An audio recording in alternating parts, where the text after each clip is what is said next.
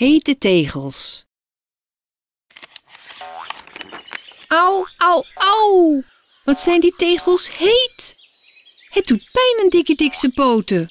Hoe kan dat nou? Dikkie Dik snapt er niets van. Geschrokken springt hij opzij. Hé, hey, hier zijn de tegels veel koeler. De struik maakt een schaduw op de stoep.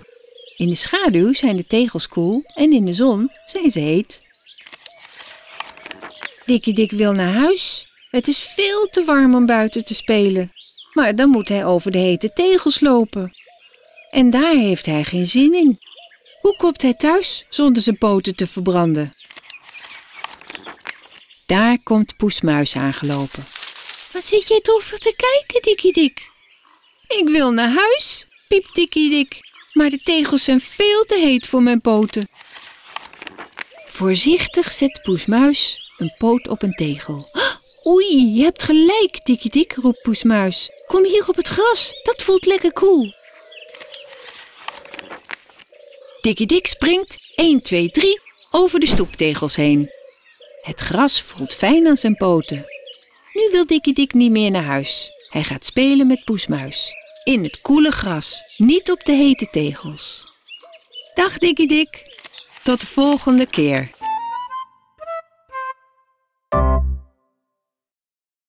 Kleddernat.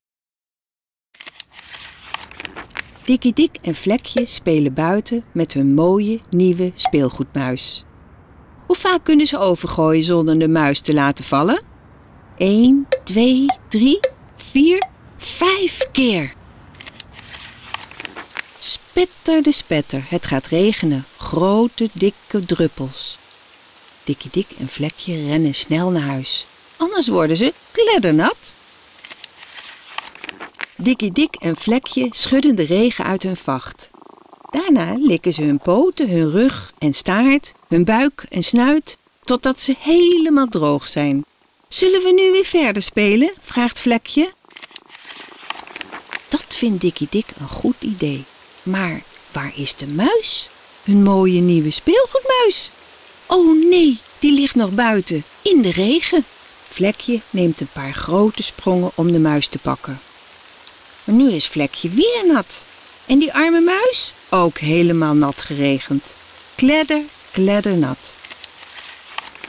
Binnen is het lekker warm. Dikkie Dik likt Vlekje droog. Dan kan Vlekje de speelgoedmuis droog likken. En daarna kunnen ze weer gaan spelen. Of slapen, of kattenbrokjes eten, of... Dag, Dikkie Dik. Tot de volgende keer.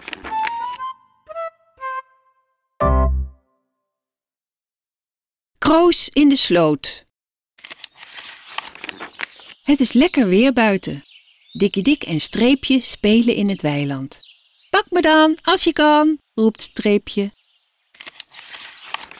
Dikkie Dik rent achter Streepje aan. Opeens neemt Streepje een grote sprong. Waarom doet hij dat? denkt Dikkie Dik. Het is toch gewoon een weiland met overal groen gras? Dikkie Dik rent heel hard rechtdoor. Oeps, dat had Dikkie Dik niet goed gezien. Help, ik zak door het weiland. Dikkie Dik klautert weer op de kant. Hij is helemaal nat en groen geworden. Haha, lacht Streepje, je bent door het kroos gezakt. Kroos? vraagt Dikkie Dik. Ja, dat groeit in de sloot en het is net zo groen als gras, zegt Streepje. Dikkie Dik schudt zich goed uit. Brrr, hij houdt niet van kroos. Dag Dikkie Dik, tot de volgende keer.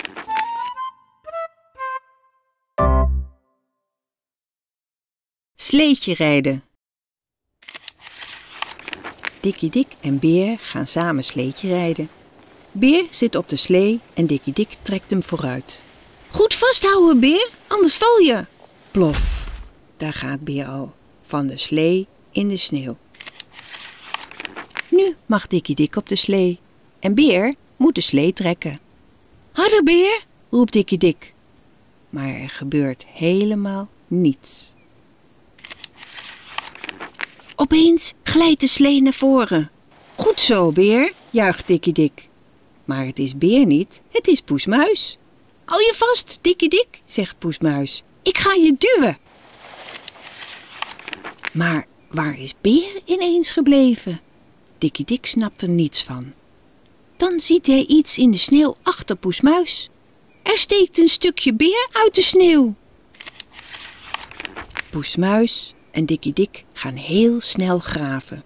Ze graven net zo lang tot Beer uit de sneeuw tevoorschijn komt. Die arme beer zit vol sneeuw en heeft het natuurlijk ijskoud. Beer moet snel naar huis, want daar is het lekker warm. Poesmuis trekt de slee en Dikkie Dik houdt Beer stevig vast, zodat hij niet weer in de sneeuw kan vallen. Dag, Dikkie Dik. Tot de volgende keer.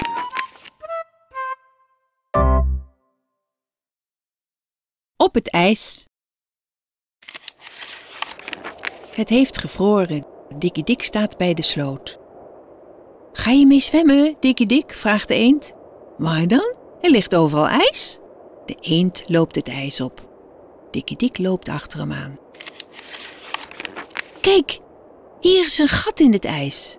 Het water is wel een beetje koud. Pas op, Dikkie Dik, een hond. De eend zwemt gauw weg. De hond komt blaffend op Dikkie Dik afgerend. Dikkie Dik springt opzij, maar de hond kan niet meer stoppen.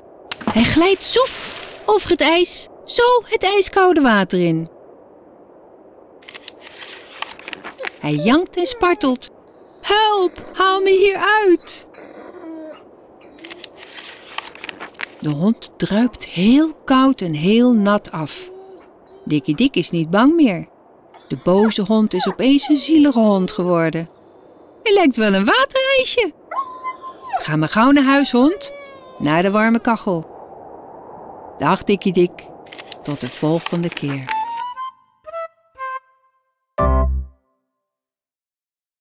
Storm. Het waait buiten.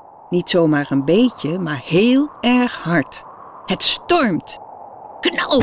Het raam waait open en Beer valt naar buiten. Dikkie Dik holt naar buiten. Hij wil Beer gauw weer naar binnen brengen. Hoei, hoei, hoei, doet de wind. De harde wind blaast Dikkie Dik omver. Hij tuimelt door de lucht. Help! Dikkie Dik grijpt zich vast aan een boomtak. Hij zwiept heen en weer door de harde wind. Hou je goed vast, Dikkie Dik. Gelukkig, de storm is voorbij. Dikkie Dik klimt uit de boom. Hij wil Beer pakken en mee naar binnen nemen. Snel, voordat het opnieuw gaat stormen. Maar Beer ligt niet onder het raam. Waar is hij naartoe gewaaid? Misschien ligt hij wel in de tuin van de buren. Zie jij hem? Dag Dikkie Dik, tot de volgende keer.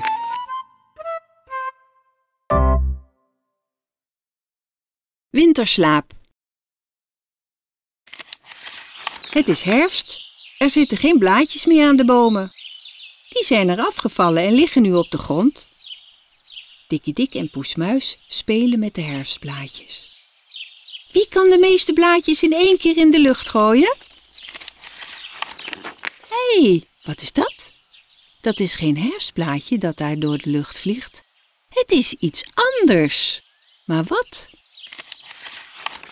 Dat is een egel, zegt Poesmuis. Hij heeft zich opgerold tot een bolletje omdat hij geschrokken is.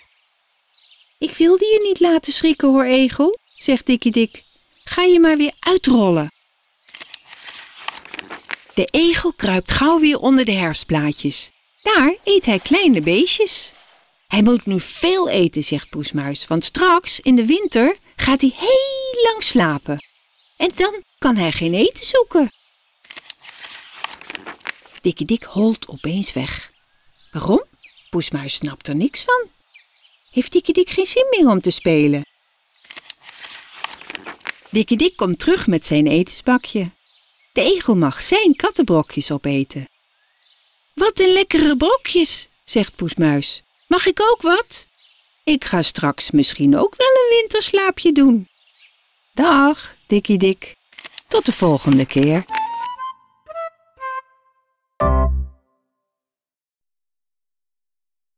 De eekhoorn.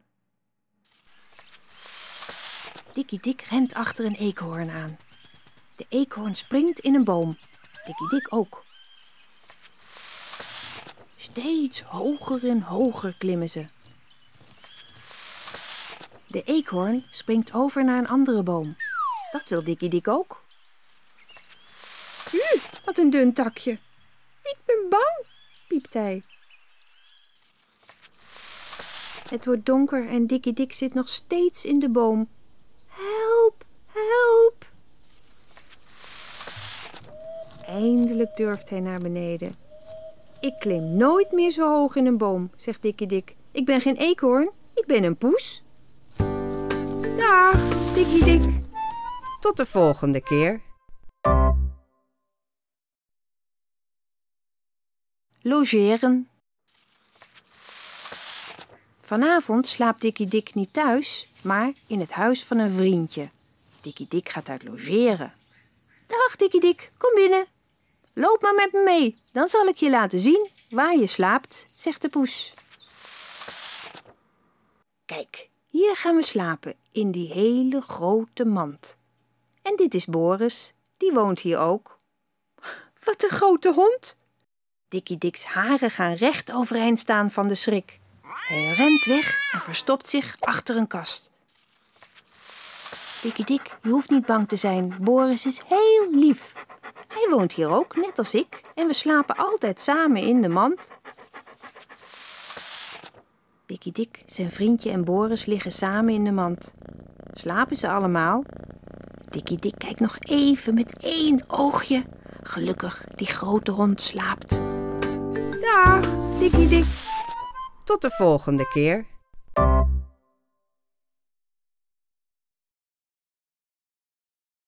In het grote bed. Dikkie Dik logeert bij zijn vriendje. De hele dag spelen ze. Krijgertje, verstoppertje en haasje over. S'avonds zijn ze zo moe dat ze bijna niet meer op hun poten kunnen staan. Samen kruipen ze in de poezenmand om te gaan slapen. Hé, hey, je duwt me eruit. Nee, jij duwt. Ze zoeken een ander plekje om te slapen. Laten we hier naar binnen gaan. Hmm, het is veel fijner om in een groot bed te slapen dan in een poezenmand.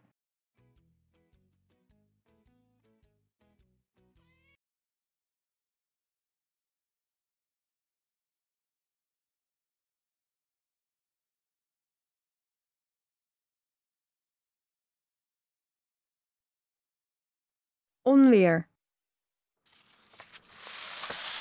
Het is half vijf in de middag en Dikkie Dik ligt samen met Lapje te slapen in de grote poesemand. Buiten komen grote donkere wolken aandrijven. Het begint te waaien en een beetje te regenen. Het wordt helemaal donker. Plots schiet er een heldere lichtflits langs de hemel en dan klinkt er een heel harde klap. Dikkie Dik en Lapje worden er wakker van. Wat is dat? Dikkie Dik loopt naar het raam en kijkt naar buiten. Nog een lichtflits en nog zo'n harde klap. Het is nu ook hard gaan regenen. Lapje is bang en neemt Beer bij zich in de mand. Lapje, kom kijken, roept Dikkie Dik. Het onweert buiten met donder en bliksem. Oh, je hoeft niet bang te zijn. We zitten toch lekker binnen, lekker warm en droog. Een mooie bliksem. Zo helder dat je alles kon zien buiten. En nog één. Kom nou kijken, Lapje, en neem Beer ook mee. Daar zitten ze op de vensterbank te kijken naar de bliksem. En ze luisteren naar de donder. Langzaam wordt het minder donker. De regen houdt op, de wolken verdwijnen. Het onweer is voorbij. Dag, Dikkie Dik. Tot de volgende keer.